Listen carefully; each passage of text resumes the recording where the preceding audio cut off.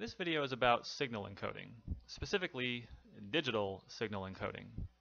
I've listed several encoding methods on the left here, and we have a sequence of bits up on top.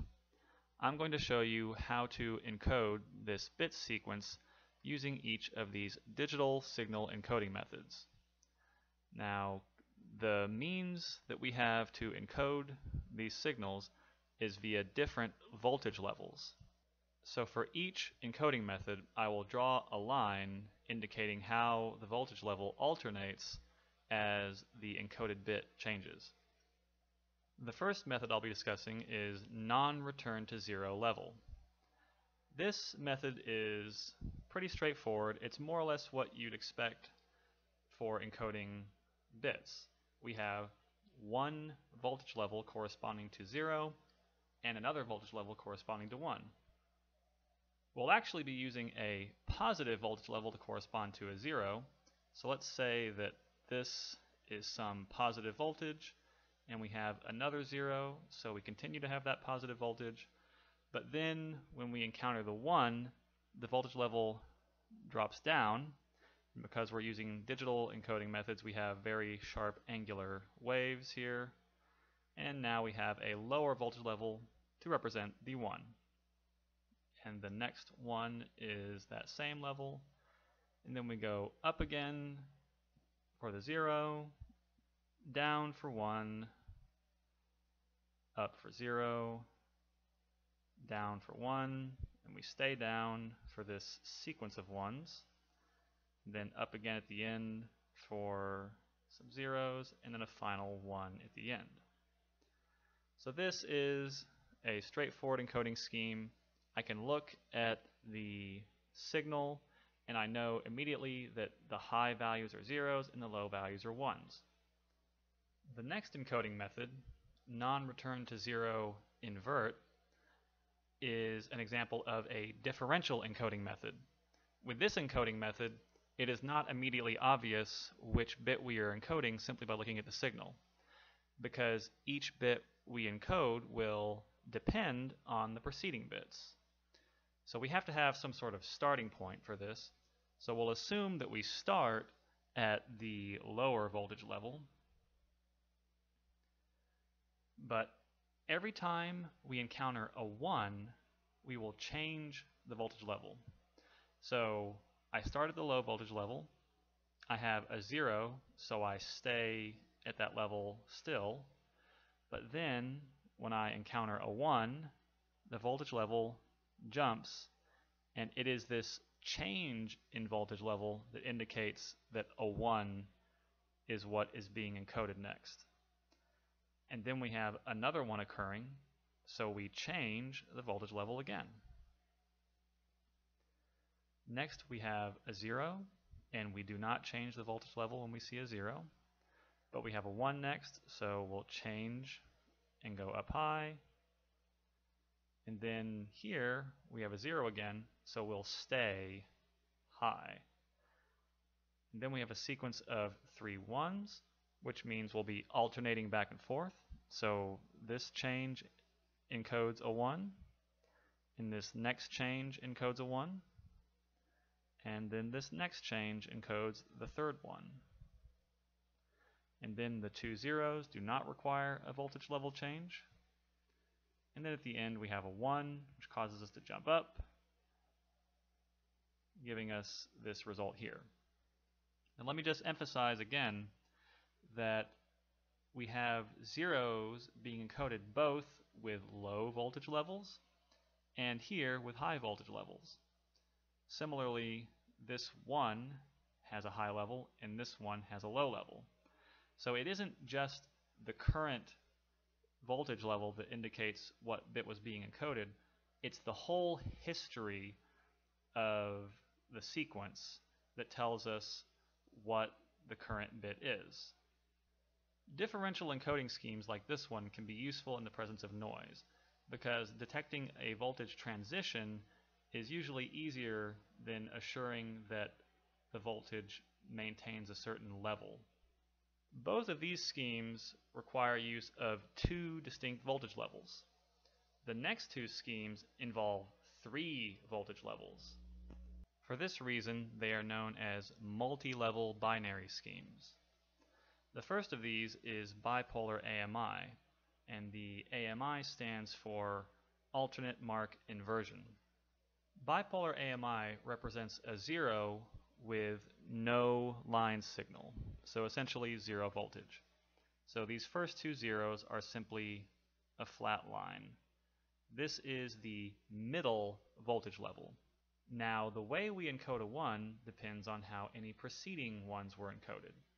So we will start off with an assumption that the last one that we encoded had a negative voltage.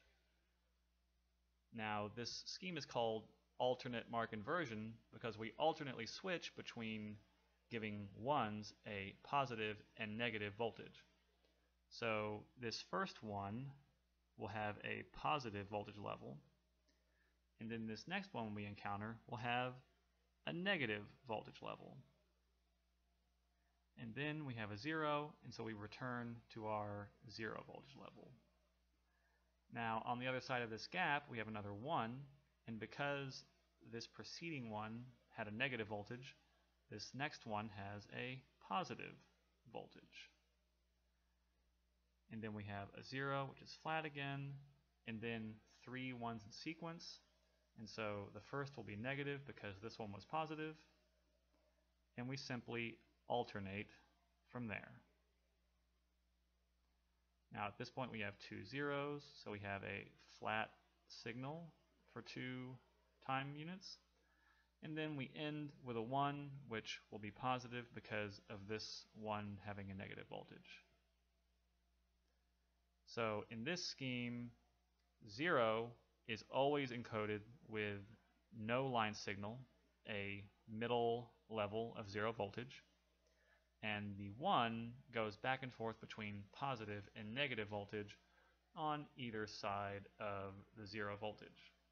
The alternations in the 1s provide extra synchronization information for the receiver. Long sequences of bits can be stretched or distorted by transmission and the clocks of the sender and the receiver may drift a little bit over time. But if we have a sequence of ones, each of these transitions will indicate to the receiver where the bit transitions occur, helping to resynchronize. Of course, we still have a problem if we send a long sequence of zeros. We'll address that issue in another video. For now, I'll move on to pseudo-ternary, which is essentially the opposite of bipolar AMI. Pseudo-ternary encodes ones with a flat line signal and encodes zeros with alternating positive and negative voltages. So therefore, we once again need to know what the preceding zero was encoded with to start off this signal. So let's assume that before our sequence of bits starts, we had a zero that was encoded with a negative voltage. Therefore, this first zero will have a positive voltage. The next one will be negative, and then this 1 will be the neutral 0 voltage, as will this one. Then we have a 0 again, this will have a positive voltage, and then a 1 is a flat line again,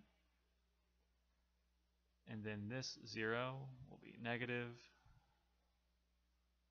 and then we have three ones in a row, so we simply have a flat signal in this range. And then a zero, which will be positive. The next one will be. And then a flat line for the last one. So that is how pseudo-ternary works. The final two encoding schemes, Manchester and differential Manchester, are biphase encoding schemes. These schemes involve extra voltage transitions in the middle of each interval. This requires an increased data rate, which is costly, but the benefit is that these extra transitions provide synchronization information to the receiver.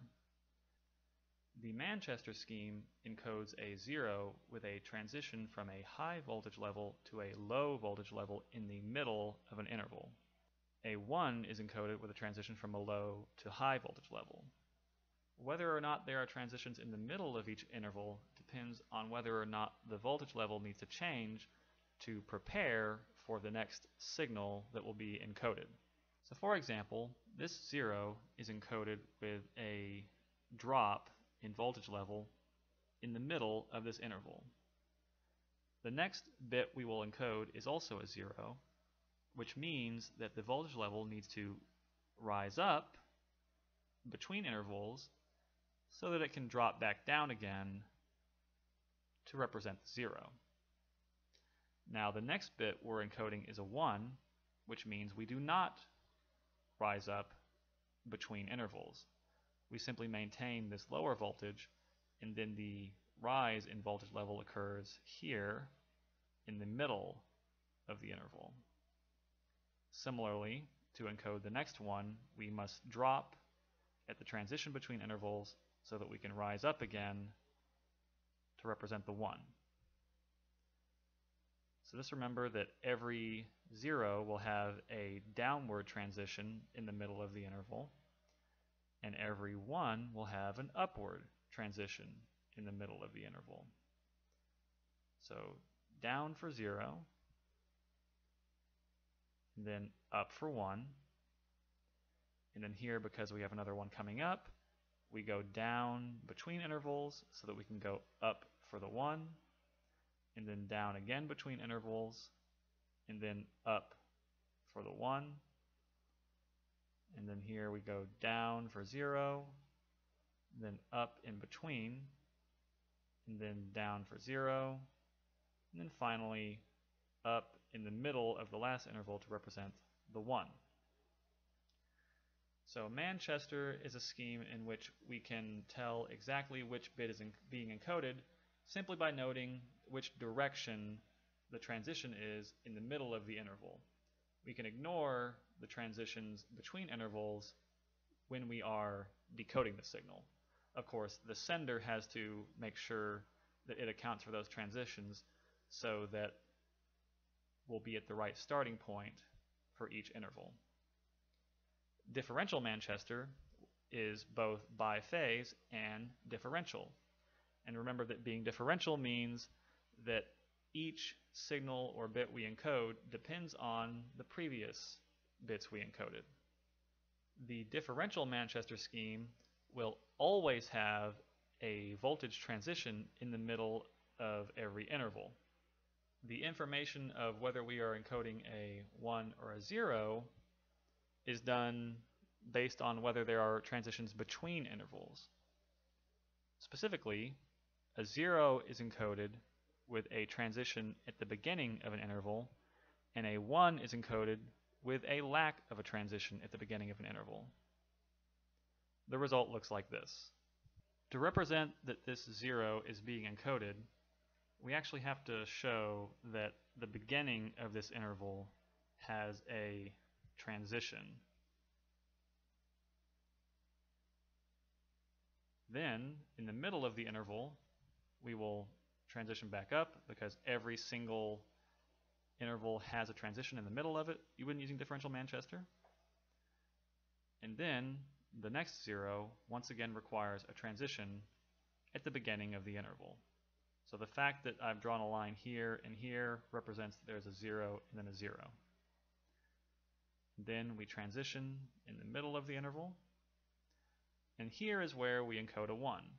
So a 1 is encoded by the lack of a transition at the beginning of the interval. So I will not be going down, but I do transition downward in the middle of the interval because we transition in the middle of every interval.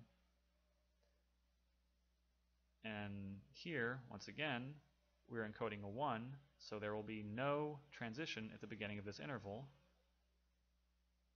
but there will be one in the middle of it. So one way of encoding when using differential Manchester is to simply think of this bit string as being positioned not onto the center values of the interval themselves, but at the borders. So a 0 is there because there's a line, and then a 0, then a 1, then a 1. This 0 requires us to draw transition there. And then this 1 means there's a lack of a transition. And Then this 0 means there will be a transition here. And then this 1 means there's no transition there. In fact, we have three ones in a row, so that's a 1, 1, 1. But then we have two zeros, so I'll transition at the beginning, and then at the beginning again. Always transition in the middle. And then the final one has no transition there. And that is how we encode this sequence using differential Manchester. So let me just drive home again how you can visualize what's happening with differential Manchester. Whenever there is a transition at the beginning of the interval, we have a 0 there. 0, 0, 1 whenever there is no transition. 0, 1, 0, 1, 1, 1, 0, 0, 1.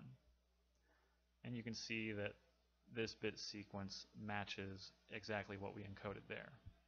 So that wraps up this video on basic digital encoding schemes, but we will be addressing some more complicated issues in a later video and also be looking at analog signal encoding.